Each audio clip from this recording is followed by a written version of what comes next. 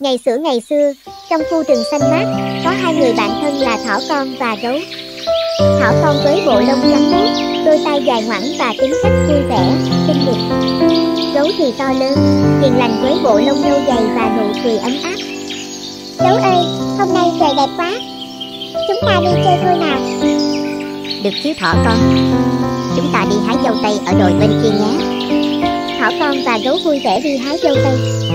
Thỏ con lon ton nhảy qua những tảng đá, cả hai người đùa vui vẻ. Bỗng nhiên, thỏ con vấp phải một hòn đá to và ngã xuống. Ui da, chân mình đau quá. Hu hu, Ôi thỏ con, bạn bị sao vậy? gấu ơi, chân mình bị trầy sức rồi. Đau quá, hu hu. Thỏ ơi, đừng lo lắng nhé, mình sẽ giúp bạn.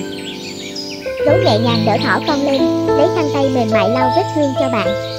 Vì chân thỏ con bị đau, gấu không thể cõng bạn đi hái dâu tây nữa. Gấu quyết định cõng thỏ con về nhà. Trên lưng gấu, thỏ con cảm thấy ấm áp và an toàn. Gấu ơi, bạn thật là người bạn tuyệt vời nhất. Thỏ con cũng là người bạn tuyệt vời của gấu mà. Gấu cõng thỏ con về đến nhà. Thỏ mẹ nhìn thấy thỏ con bị thương thì lo lắng vô cùng, thỏ mẹ hốt hoảng. Thỏ con, con bị làm sao vậy? Mẹ ơi, con bị ngã.